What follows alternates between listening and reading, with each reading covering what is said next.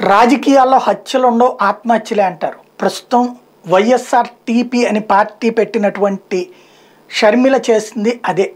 తను right చేసుకుందా wrong చేసుకుందా అన్నటువంటిది తేలాల్సి ఉంది ఎందుకు అంటే ఎన్నికలు పార్టీ పెట్టి పాదయాత్ర చేసి ఆంధ్రప్రదేశ్లోని అత్యధిక రికార్డు.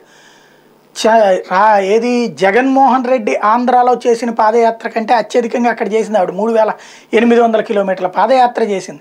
అంత పెద్ద రికార్డులు బద్దలు కొట్టిన ఆవిడ చివరికి తన పార్టీని నడపలేని పరిస్థితిలోకి వెళ్ళిపోయింది.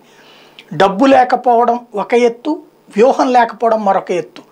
అన్న అద్భుత వ్యూహాలు పన్నుతూ ఉంటే ఆ అన్న కంటే మించిన దాన్ని నిరూపించుకోవడం కోసం ప్రయత్నించి చివరికి అన్న మీద ప్రేమ ఉంది but at the same time అన్న మీద ద్వేషం అని ప్రజల్లోకి వెళ్ళింది. వెళ్ళిపోయింది సంకేతం. ఇలాంటి సందర్భంలో అక్కడ వైఎస్ఆర్ అభిమానులు కూడా ఓట్లేస్తారో లేదో తెలియదు అనుకుందో ఏమో కానీ తను ఎన్నికల్లో పోటీ చేయకుండా పూర్తిగా వైఎస్ఆర్ టీపీని ఒక రకంగా మూసేసి ఆ కాంగ్రెస్ పార్టీకి మద్దతు ప్రకటించింది. ఇక తనేదో మొన్న పోటీ చేస్తుందని చెప్పారు. ఇక ఏమి పోటీ చేయట్లేదు కాంగ్రెస్ మద్దతు. అంటే కాంగ్రెస్ పెట్టిన బేరం ఏంటయ్యా అంటే ఈ ఎన్నికల్లో పోటీ చేయకుండా రాబోయే రోజుల్లో ఎలా రాజ్యసభ సీట్ ఇస్తాం లేకపోతే లోక్సభ సీట్ ఇస్తాం అన్నటువంటి.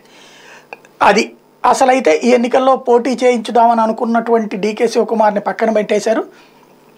రేవంత్ రెడ్డి మాట నెగ్గింది షర్మిల బలిపశు అయింది. కానీ పోటీ అయితే చేయట్లేదని ప్రకటించడం ద్వారా తనకి తాను రాజకీయంగా అతిపెద్దదైనటువంటి రాంగ్ స్టెప్ వేసుకుంది.